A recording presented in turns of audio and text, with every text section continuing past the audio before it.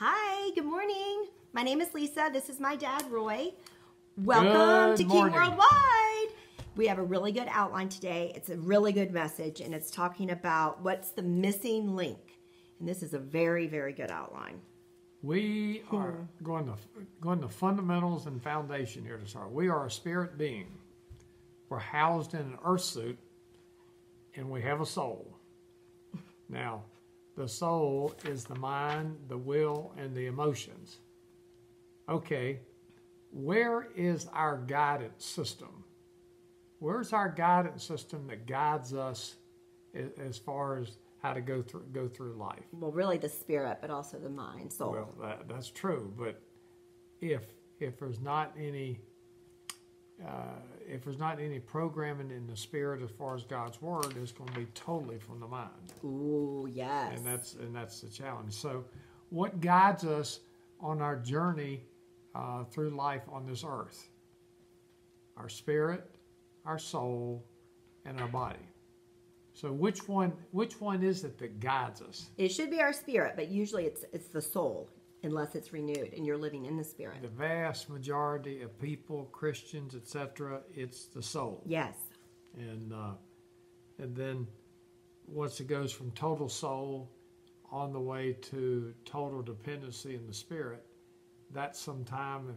You, decisions are made as far as how to live your life, etc. Et and the soul, most people don't realize, it is everything to do with the mind, thoughts, will, emotions, memories, personality, everything we do with our thinker and also our will. Yeah, I mean, it, it like Lisa, our mind puts everything in motion words, acts, etc. And what we deposit, now, this is the key thing what we deposit in our mind mm-hmm. will determine our journey through life. Why is that? Because what we deposit in our mind is eventually, in most cases, going to come out of our mouth, and what we say is what we get. And depositing is not just what we actively study no. and read; it's everything we see. Any any sound, if, if you will, sound or vi visual. Yep. And uh, so, natural world input will guide us to conform to the mm -hmm. principles of the God of this world. Now, I didn't I didn't know that for a long, long time. Just that that statement I said right mm-hmm. there, and that is natural world input will guide us to conform to the principles mm-hmm. of the God of this world, who is Satan. And you want me to read Second Corinthians 4 4 from the NLT. Satan, who is God of this world, has blinded the minds of those who don't believe they are unable to see the glorious light of the good news. They don't understand this message about the glory of Christ, who is the exact likeness of God. They're blinded. Their eyes are blinded. It's like blocked. So this is the reason this because of this is the reason that we have the scripture in Romans 12 too. This is also from the New Living Translation. Don't copy the behavior and customs of this world but let God transform you into a new person by changing the way you think. Then you will learn to know God's will for you, which is good and pleasing and perfect. That's that's probably the heartbeat, the heartbeat of uh, of what we need to focus on. That being as far as that what we put in our mind up here, or allow it to in, see and hear, right? Yep. And and then what goes in, what goes in is going to determine where we're going to be tomorrow, the next day, the next yes. day. Yes. And so that's the reason why that we have to be so careful about what we're exposed to. So the Bible was given was given to transform us from a de- demon. This is it. The Bible was given to transform us from a demon controlled world system yes. to God's original plan for our lives. Mm-hmm. Here's here's the verse. Jeremiah 29:11. This is from the New American Standard. God says, "For I know the plans that I have for you," declares the Lord, "plans for prosperity and not for disaster, to give you a future and a hope." Was that the wrong one? That's the perfect one. Okay. Glory Plan and expect an end. We can we can change our mind. So so if a person is that is that's listening to this has not been in the Word, has not been deposited, has not been programming godly thoughts into the mind. Hark, we can start right now, and we can start that process as far as diluting the thoughts from the natural world and right. actually replacing it yes. with godly God's thoughts. Yes. Okay. So we can change change our mind and we do do it by programming it to conform to thinking God's thoughts, thereby upgrading our personal guidance system. Ooh. So at the very beginning, we talked about our mind was guiding us through life, and that's going to be subject to the natural world.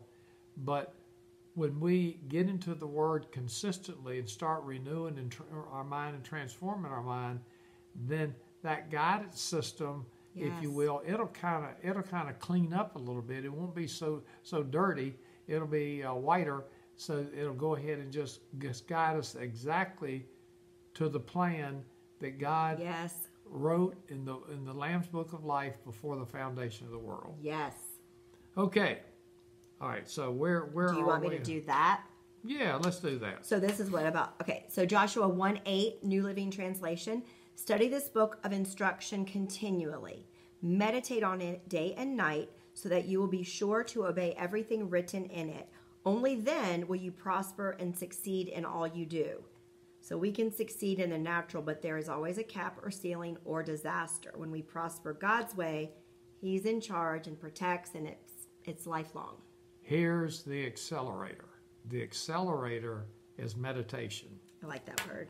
It is meditation because what it does, it and you'll see in a minute, it accelerates the transformation that's taken place in Romans 12 too.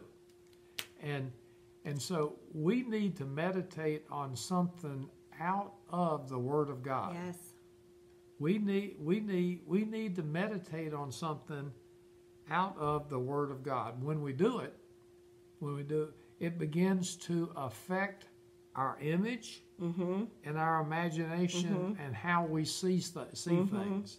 So, the more that we can do as far as creating an image in our mind, or letting the word do it, yes, to, to, to influence it, as far as to have that image in our mm-hmm. mind that is consistent with God's plan for us here on earth. When we do that, then the manifestation is going to come quicker than it, any other way that I know. Very true. Now, the with God, we have to see it before we can physically see it and have it manifested. What does meditation mean? Lisa. From the 1828 dictionary. Oh. You're the one that told me to do that. Oh. So meditation means from that book close close or continue close or continued thought the turning or revolving of a subject in the mind, serious contemplation. I've had words in the past relative to Joshua 1 8 muse, mm. ponder. Mm-hmm. Here's one kind of speak out loud underneath my breath. Mm. Mutter. yeah, mutter. And, uh, and when you do that and you have the image in your mind's eye, if you will, then what it's doing is that it's activating the juices, what I call it. it's activating the juices of faith so that you have a, uh, you're taking a step as far as trusting and believing in God's promises. For those people that are not as sharp and can concentrate just like thin air like he can, you can write it. That's what I had to do. Write and write. That's how I meditated is writing the scriptures over and over and talking them out loud and then they just came. Yes, you did. You wrote. Yes, wrote, and I'm wrote. a big fan of writing uh-huh. because uh, the Lord told me to do it. I didn't even think twice, and now it's inside so deep. That's good. That's good. I, I, like to do the thinking. You like to do the writing. Yes. Therefore, we can balance each other. That's right. In closing, awesome truth is this: when we see it, and up here, when we not here but up here, inside. When mm -hmm. we see it and then believe it and then act on it in faith, our success is guaranteed. God's word says so. Mm-hmm. For most Christians, is that meditation is the missing link mm-hmm. or the mm-hmm. absence of it. Now, one of my favorite scriptures as far as uh, imagination is this one right here, and we'll end with this. Genesis 11, 6 from the King James, second part. And now nothing will be restrained from them which they have imagined to do. And now nothing will be restrained from them, restrained being withheld, which they which they have imagined to do. So when you create when you create that image mm-hmm. and you undergirded as far as with the Word of mm-hmm. God. And you just keep visualizing, and as we said last broadcast, thanking, and then that evolves into praising. And when it goes into praising, that's when God takes over. And it all starts with meditating on the Word, not correct. the object or the thing that we want. That is correct. Glory you, to God. One, one might, as one man of God explained to me, is that on a ticker dream, if you have that, you get you get the picture of that so that you can visualize it relative to what God's plan is for you in uh, uh, in this life, and then kind of put it aside. Yep. And then you do, which is the foundation of King Worldwide Ministry. You do Matthew six thirty three, which is seek first the kingdom of God, and then Glory this little thing over here on, that you put aside the dream, it'll manifest. Yes. Glory have, to God. Have a great day.